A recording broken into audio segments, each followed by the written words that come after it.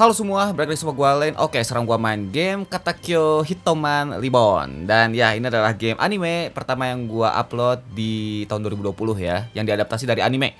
Uh, Tapi by the way, gue jujur aja ya Gue baru nonton beberapa episode sih Yang Katakyo Hitman Reborn ini. Gue gak tau kenapa ya, gue kenapa belum nonton ini anime. Kita fokus ke gameplaynya saja Karena ini game cukup bagus ya Walaupun bahasanya masih bahasa China, bukan bahasa Jepang itu Aneh banget dan juga gue nggak mulai dari awal. Di sini gue udah level 6. Uh, eh, kita langsung menuju ke dungeon aja seperti apa battlenya ya. Oke di sini kita milih karakter. Gue baru punya dua karakter dan tentunya kita ntar gacha ya. Dan di sini pastinya namanya juga game mobile pasti ada autonya langsung. Ini dia autonya, tapi no, kita non auto dulu ya. Ya, di sini dilihat dari pinggir. Dan juga untuk dilihat dari pinggirnya kayak Hunter x Hunter, jadi bisa ke kiri sama kanan atau atas sama bawah ya. Jadi nggak nggak cuma kiri sama kanan doang. Dan juga full 60 fps, support.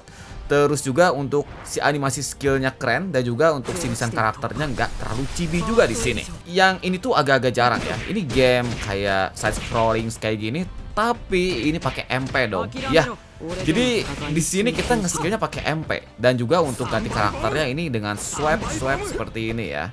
Terus juga kayak loncatnya ada energinya dibatas. Eh uh, ya, jadi ini game gak ngebrutal, nge, nge sana slash sini kayak game side scrolling lainnya gitu ya. Uh, kita pindah map juga ke atas kayak gini, nggak cuma kiri kanan doang. Dan juga pas lawan bosnya bukan cuman bos kecil, ntar juga ada bos besar. Terus contoh dari skill ultimate seperti ini. Tapi sayangnya untuk skill ultimate di sini nggak ada animasi benar-benar full karakternya ya. Itu sayang banget itu. Ya harusnya kalau game-game anime biasanya itu langsung ada 3D karakternya, kayak si angle kamera dirubah gitu. Cuman di sini nggak ada. Oke oke oke. Yap. Jadi seperti ini si battlenya. Ya kalau yang suka side scrolling sih pastinya suka ya apalagi lihat ini. Dari desain karakter benar-benar nggak dirubah sama sekali. Ini sama persis kayak di animenya dan dijadiin 3D ya. Jadi nggak ada cibi-cibi. Tapi by the way, kita langsung aja gacha di sini 10 kali ya. Apakah ada gacha event atau ini sepertinya gacha event ya? Ya, ini nih gacha event nih.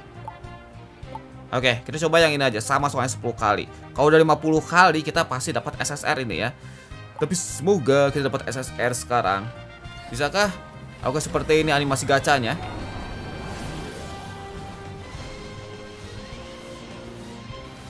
Oke.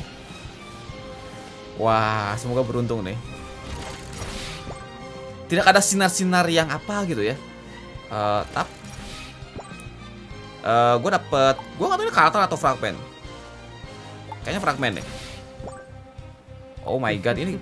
Oh, nah ini kan karakter event ya. Gue dapat SSR dong, dan dia cowok.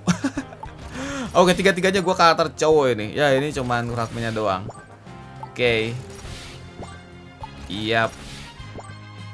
Uh, dia juga karakter event. Maksudnya yang rate-nya ke up gitu ya di event sekarang. Oke, lumayan gue dapat SSR ini. Namanya siapa ya? Rokudo Mukuro. Dan juga untuk tiketnya sepertinya ini bisa dibeli pakai diamond kan. Coba kita plus ini ya. Oh kan ini kan.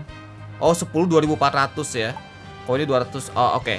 Bisa dibeli pakai diamond dan plus dapat duit juga itu. Terus sekarang kita langsung aja ke manajemen karakter. Yang di mana? Oke ini dia. Rukudo Mukuro. Eh by the way ini apa ini? Ini belum ada kah? Sepertinya dia belum ada ya. Ya. Kita dapat dia ini. Oke. Yang pertama kita langsung naikin aja si levelnya sampai level 5 di sini. Ini macam karakternya ya. Oke. Yap, ada levelnya. Terus juga di sini ada bintangnya yang di mana ini dinaikin sama fragmen-fragmen itu dapetin dari gacha atau dari uh, dari dari mungkin bisa dapatnya. Terus juga di sini kayak ada menu kartu yang di mana kita bisa masukin eh, kartu-kartu uh, ke slot-slot yang ada ya. Jadi ada satu ada slot 1 2 3 4 5 6. Total ada 6 slot.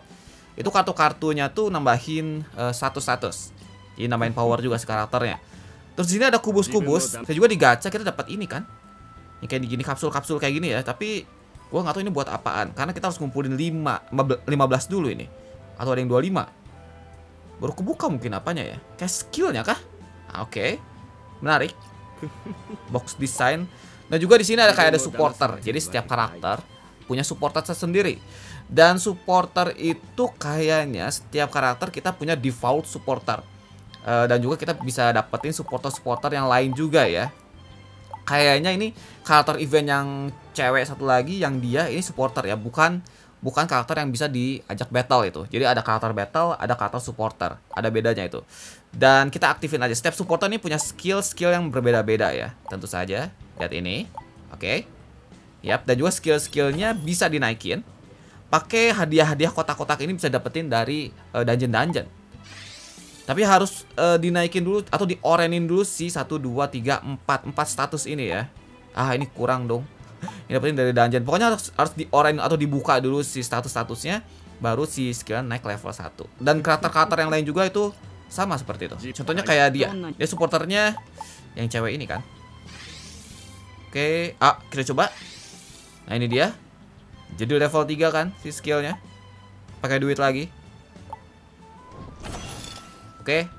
Seperti itu. Dan sekarang kita ke dailynya mungkin. Di sini gue belum nyelesain daily. Gue nggak tahu ini lawan apaan. Tapi kita bisa tiga kali dalam sehari ya. Dan tentu saja kita ganti ke yang sini. Oke, kita bisa ngebawa tiga karakter ini. Dan dia SSR ya. Bisa nggak diganti? Oke, bisa ya. Yap. Bentar, matching? Raid kah? Oh, oh iya, ini loginnya loginnya pakai guest akun. Tapi kita bakal tahu si ID sama passwordnya ya. Uh, by the way, gue ke yang kedua kan dan ini bisa auto. Oke, okay, karakter gue yang ini dan tiga-tiganya muncul ini. Ya kan? Iya, yeah, tiga-tiganya muncul kan? Atau dua gitu? Cuma berdua itu yang muncul. Bentar, gue pindah dulu ke sini. Tiga-tiganya muncul, Deng. Jarang-jarang game-game yang side scrolling seperti ini ada menu ada apa namanya? fitur party kayak gini ya. Oke, ini keren sih. Oh my god, lihat itu sama kayak di tutorial. Ini keren banget. Beneran itu pasti yang ngamuknya kan. SSR-nya itu. Oh, pingnya lihat itu. ya, seperti biasa game-game China. Itu pingnya sampai 600 ya. Damn. Gak lawan bos besar sih. Cuman ya untungnya kalau yang kita party sama orang China sana si ping yang akan ngebludak ya. Gue sampai 900 dong tadi. Dan juga kalau untuk autonya di sini ini game tuh jadi dia bisa nge-swap swap atau ganti-ganti karakter sendiri ya. Ini benar full auto. Terus juga tadi kalau nggak salah kita dapat kartunya kan? Iya ya. Uh, untuk naik level juga dapat. Kita naikin ke level 8 Oke. Okay. Dan juga kalau nggak salah tadi dia dapat kartu ini. Ah, Oke ini dia. Ini kartu yang kedua ya. Uh, Kita pasang. Dan ini yang kedua juga Sama itu statusnya. Eh Si efeknya beda ding. Tapi gue nggak tahu apa efeknya itu. Dan ini yang ketiga By the way di sini gue liatin dulu aja ya sekilas. Soalnya tadi pas party itu belum nggak jelas banget sih skillnya seperti apa. Ini skill-skillnya kayak gini ya. Wah, kayaknya SSR ini rada imba-imba semua ya. Sawada yang SSR aja seriusan itu benar-benar imba banget sih skillnya itu.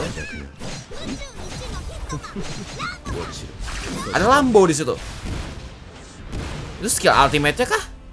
Yang ngeluarin pohon-pohon itu kayaknya ya. Oke deh sekarang kita ke stage yang terakhir 29 ini. Gua gak tahu lawan bos atau enggak Tapi ini adalah stage terakhir di yang map kedua kan kalau nggak salah.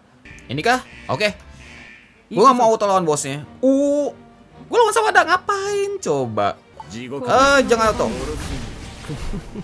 Ngekombonya kayaknya setiap karakter gampang banget. Dan juga ini skill ultimate-nya emang yang tumbuhan tadi yang warna hijau ya uh, yang gampang dikenalin ke ultimate berarti dia yang karakter gue yang punya terus juga Sawada dan kalau yang rambutnya putih itu seriusan aneh banget ke ultimate-nya ya. By the way kita loncat dulu ke sini. Dan ini rada bodoh juga sih si AI musuhnya ya. Oke. Okay. Dan kalau misalnya kita manual juga jangan sampai uh, kayak kayak terbalik itulah si nyerangnya ya. Oh my god. Dan kita keluarin ini. Ya, Gak kena kan? Lihat itu gak kena. Dan kenapa banyak dimnya banget sih sawadanya ya? Beneran, oke kita coba full auto di sini. Apakah ganti-ganti atau enggak ya? Beneran, untuk full auto ngarahnya lebih lebih akurat sekali daripada manual ini. Karena belum terbiasa mungkin. Bentar lagi mau cut deh. Gak kena lagi skill ultimate-nya, ya ampun. Buset. Oke, gua menang. oh, apakah ada lagi? Atau nggak beres? Sepertinya beres. Oke, beres ya. Wow. Oh, dan bintangnya kenapa cuma bintang dua di sini? Dan juga untuk fitur-fitur yang lainnya di game ini tuh walaupun game yang dilihat dari pinggir tapi agak-agak ribet seriusan. Terutama yang di home ini, gua nggak tahu ini buat apanya. Tapi di sini berhubungan dengan uh, side quest side quest per karakter gitu ya. Ini setiap karakter ini punya side quest tersendiri. Contohnya ini, terus kita ke bagian yang uh, yang gua pencet sekarang ini, kita bisa dapetin benda-benda experience dan juga kartu-kartu uh, di dungeon, di dungeon yang per karakter ini ya. Terus juga di bagian news ini, ya di sini kayak ada cabang-cabang ini, ini quest semua. Dan ini per karakter beda-beda itu. Bentuk-bentuk cabangnya juga. Ini newsnya seperti ini. Lihat ini. Belum gua selesain. Ya, ada banyak banget sih stage-nya. Dan dia juga pasti beda kan.